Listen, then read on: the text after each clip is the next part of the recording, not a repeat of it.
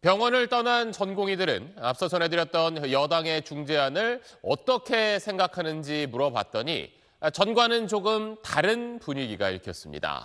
의료계에 대한 경찰 수사도 현재 계속 진행 중인데 전공의 비대위원장에 이어 대형 병원 전공의 대표들도 소환 통보를 받았습니다. 이 내용 조동찬 의학 전문 기자가 단독 취재했습니다. 박재일 서울대병원 전공의 대표 여당이 대통령실에 제안한 2026년 의대 증원 보류란 중지안에 대해 물었지만 그걸 개인적으로는 어떻게 보세요? 중지안에 대해선? 아무런 답을 하지 않았습니다. 그는 전공의 협의회 임원이기도 한데 협의회도 공식 반응을 내지 않고 있습니다. 지난 3월 서울의대 교수가 이번과 비슷한 중지안을 냈을 땐 즉각 거부 입장을 냈던 것과 다소 달라진 셈입니다. 대한의학회 관계자는 전공의협의회 입장이 나오기 전엔 언급을 삼가겠다고 밝혔습니다.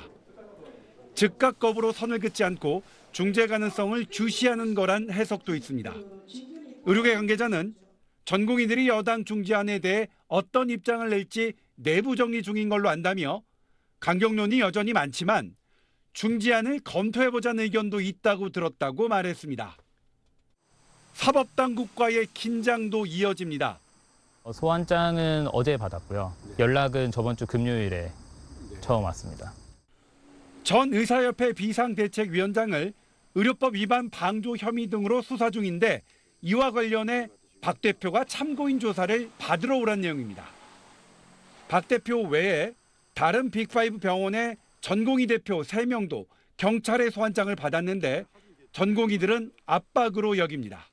정부가 해결의 의지를 보여주는 것이 아닌 어, 오히려 악화의 길로를 밟는 것 같아서 사법적 조치라든가 행정적 조치를 취하게 되면 교수들의 사직이 이어질 거라고 지난 21일 박단 전공의 비상대책위원장도 참고인 조사차 경찰에 출석한 바 있습니다.